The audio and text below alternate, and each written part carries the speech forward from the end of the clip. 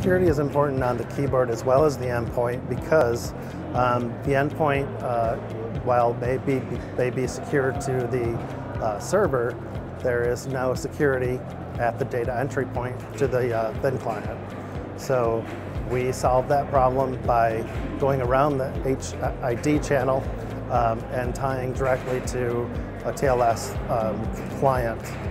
And so the secure channel is actually initiated by the, the thin client and a security certificate confirms the device is actually what should be communicating.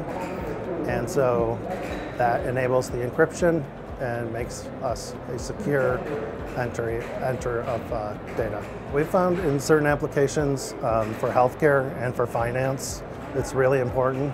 More and more concerns about internal actors versus external.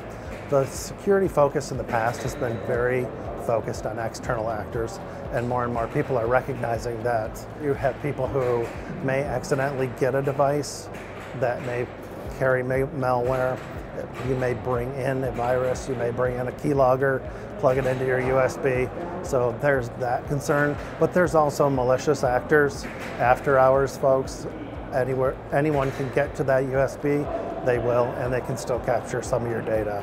The value of Cherry keyboard being integrated to an IGEL thin client um, is its ease of use for the end customer um, the ease of implementation.